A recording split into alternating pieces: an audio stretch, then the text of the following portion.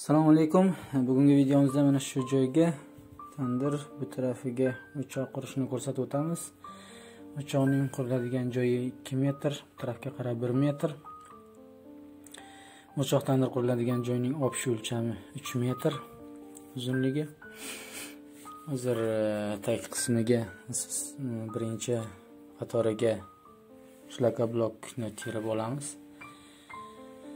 Stashka bo'ladi atroflari shuning uchun shlaka blok g'isht qilsa ham bo'ladi aslida lekin hozir shlaka blok borligi uchun burada birinchi qatorni shlaka blok bilan qurib olamiz. Hozir video davomida e, o'choq va tandirlarning qurilishini batafsil boshdan oxirigacha ko'rsatib hamma joyini tushuntirib iloji boricha qanday material ketishini materiallarni narxlarigacha aytib o'tishga harakat qilamiz. Qurilish jarayonini batafsil e, ko'rsatib tushuntirib o'rgatib o'tamiz. Kanalimizga e, mana shu videoni pastidagi подписаться tugmachasini bosib qo'ysangiz obuna bo'lishingiz mumkin. Keyingi videolarimizda e, boshqa video boshqa ishlarimizni ham ko'rsatib o'tamiz o'rgatuvchi videolarni chiqarib boramiz. Подписаться tugmachasini bosganingizdan so'ng keyingi chiqargan videolarimizni bemalol ko'rishingiz mumkin bo'ladi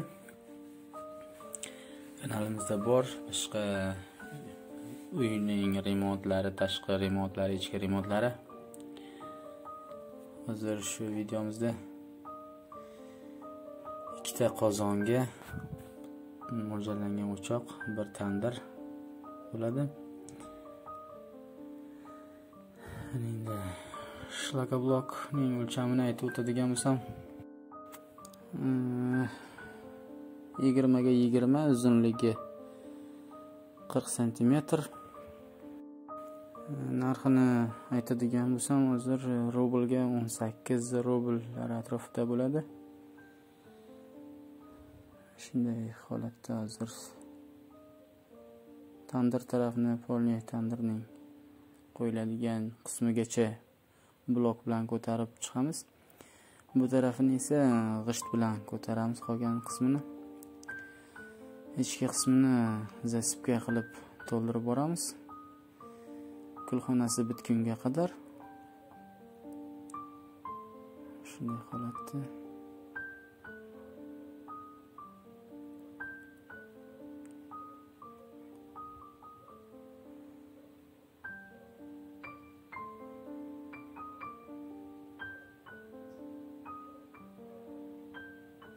Hozir e, quriladigan o'choq va tandirlarimiz e, juda anchagina oddiy arzon bo'ladi. Unchalik qimmat qimmat emas. Shunday holatda to'ldirib boramiz. Zasipka qilib.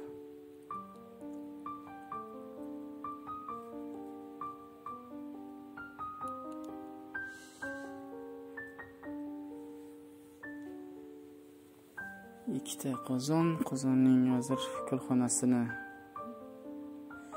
eshikchalarini aniqlaymiz. Eshikchalarning kengligi 16 santimetr qilib belgilandi. Keyinchalik eshikcha qo'yiladigan bo'lsa 15 santimetrlik eshikcha bemalol qo'yilishi uchun 16 santimetr qilingan balandligi 2 g'isht balandligida bo'ladi. Birinchi katta qozonimizning o'lchami 50 litr litadi keyingisi 20 litrlik 20-22 litrlik.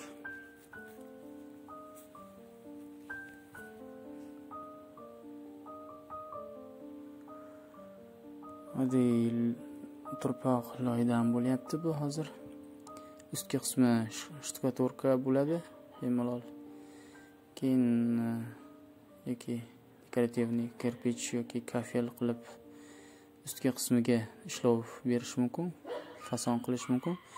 Hozircha esa oddiyroq eh, arzonroq arzonroqqa bitadi. Shuning uchun mana shunday oddiy holatda qurilib bitkazamiz.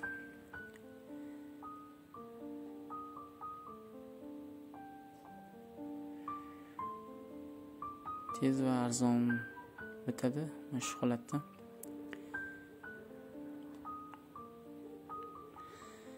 G'ishtlar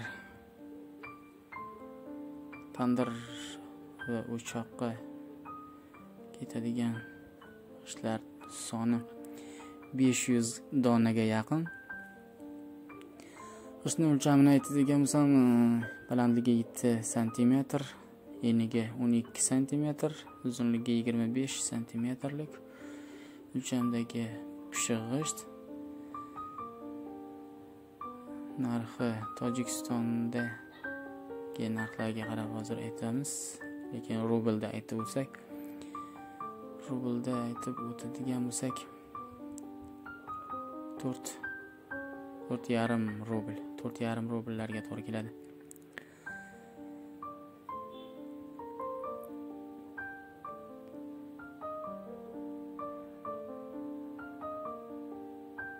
Shunday kulxonasini ajratib olamiz. Ichki ichki tarafga qarab ishchasi tashalgan joydan ichki tarafga qarab ellik santimetr ellik qirq besh santimetrlar atrofida. Kulxonasi bitgunga qadar yana to'ldirib chiqamiz ichki qismini zasipka qilib.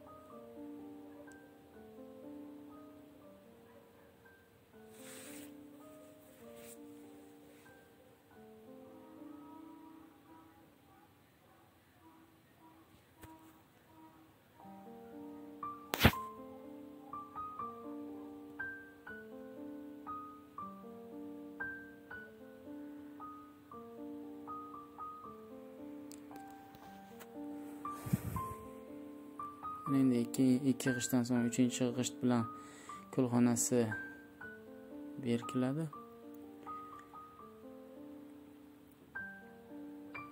Shunday holatda.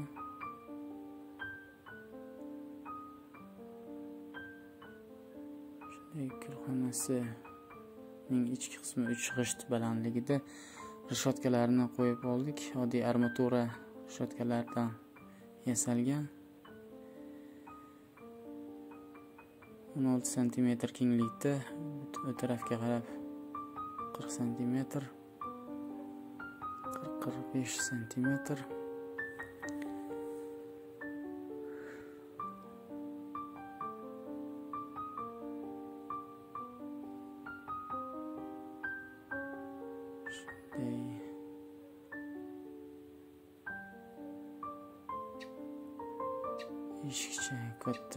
shifoxonasining eshikchasi. Tashqi tarafi общий o'ttizga o'ttiz ichki qismi yigirma ikki santimetrga yigirma ikki santimetr eshikchasining ichki qismi. Narxini aytadigan bo'lsak narxi uch yuz uch yuz uch yuz ellik rubl. Shunday gulxonasi bitgandan so'ng pastki qismini zasipka qilib tekislab olib qozonni qo'yib chizib olamiz. Ana shu chiziq orqali g'ishtlarni tikka holatda urib chiqamiz. Doira shakl chiqarish uchun shunday tikka holatda urib chiqamiz. Endi chiroyli hamda oson. دایره شکل حاصل بولاد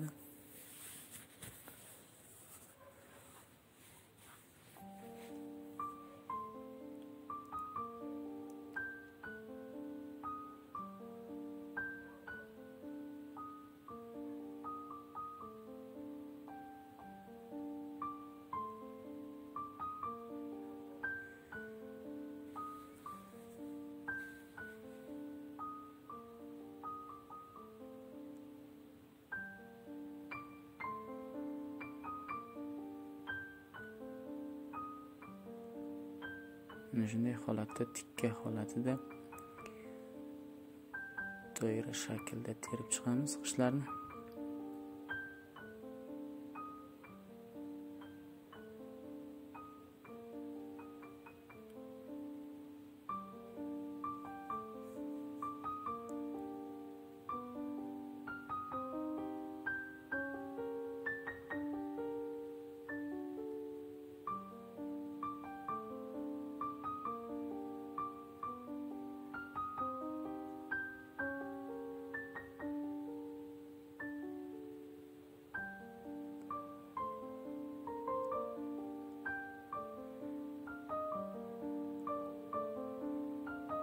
Mana shunday holatda bo'ladi. Doira shaklda. Endi yon qismlari to'ldirib chiqiladi tag'in. Oldi qismi ham eshikchaning balandligiga oldi qismi g'isht bilan urib chiqildi. Uch g'isht balandligida bo'ldi. Eshikchasining o'lchamiga yetadi uch g'isht balandligida. Chiqish balandligida bo'lgandan so'ng ichki qismidagi tikka urilgan g'ishtlar ham o'sha o'sha balandlikka mos bo'ladi. Bir bir tip tikka holatda urilganda mana bu yerda esa teshik qilib e, devorning u tarafiga o'tkaziladi. Tutun kanallari truba u tarafda qo'yiladi. Shu joyni chizib olamiz. Bu tarafda imkoni bo'lmaganligi uchun Э, yanada unchalik э, yanada chiroyli bo'lishi uchun u taraf devorning u tarafida u tarafidan chiqaramiz trubasini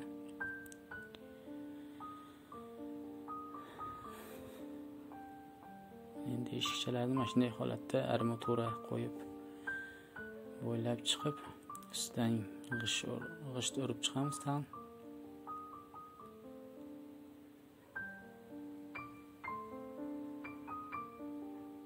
Mana shunday holatda kanallariga hozir ko'rsatamiz. Mana to'ldirildi yon qismlari zaspiya qilib devor kanallariga o'yib chiqilgan.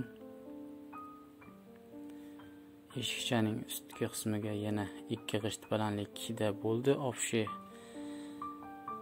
общий balandlik aniqlandi. Mana bu yerda eski g'ishtlardan foydalangan foydalanildi. Eski g'ishtlardan kanallariga terib chiqdik kanallarni hosil qilib hozir shvab ko'rsatamiz. Bu tarafda esa kanallariga mana shu oldi u tarafda trubaga chiqadigan kanallardan tutun chiqadigan joyi. Devorda udobni chopib chiqilgan. Shunday holatda kanallarni hosil qilamiz. Tutun yo'llari yanada udobni bo'lishi uchun.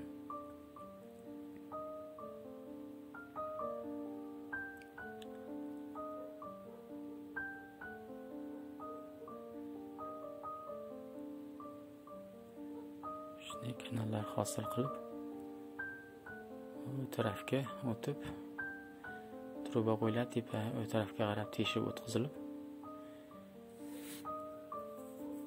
hozir ko'rsatamiz devorning u tarafini. Shunday holatda chopib chiqib tepaga qarab trubaning trubani devorning orasida qoldirib yuboramiz mana hozir tunukalarni qo'yib kanalarni yopib ustiga hozir gruntovka bir sloy rastvorli shtukaturka tekislab qo'yamiz. Bir qotgandan keyin yana ustidan shtukaturka bo'ladi. Hozir mana qotirib olindi. Endi hozir e, to'ridagi yopiladi g'isht bilan kanallari bu tarafga chiqib ketadi. Bu tarafda esa tandirning tagi tayyorlangan. 5 santimetrlik taxtalar qo'yilgan tag qismiga tandir o'rnatiladi bu joyga. Shunday holatda bitib boradi berkitilib. Endi tandirning ham dimoxodi truba bu tarafga qarab chiqaramiz. Mana bu kesilib olinadigan joy esa tandirning kazirogiga bu taraf o'choqning kazirogiga teshib tashlalyapti hozir kazirogini o'rnatib ko'rsatamiz. Shunday holatda tepaga qarab mana bunday e, kaziroglarni o'rnatib chiqamiz. Shunday holatda tandir qo'yildi bu yerda tagiga turpa qo'yilgan mana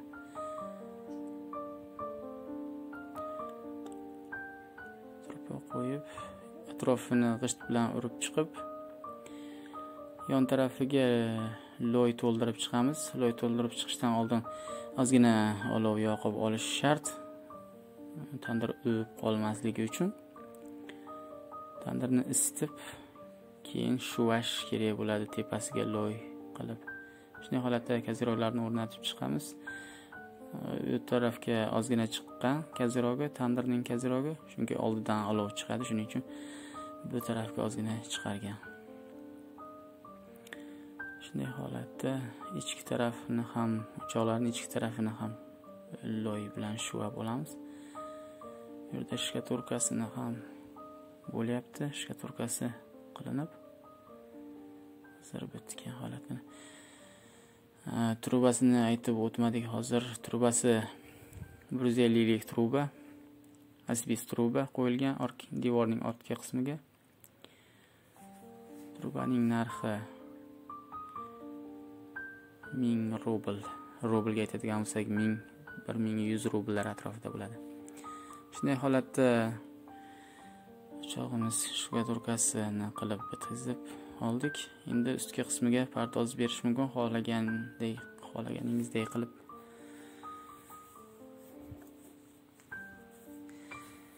Videomiz ma'qul bo'lsa kanalimizga obuna bo'lib layk tugmachasini bosib qo'ying.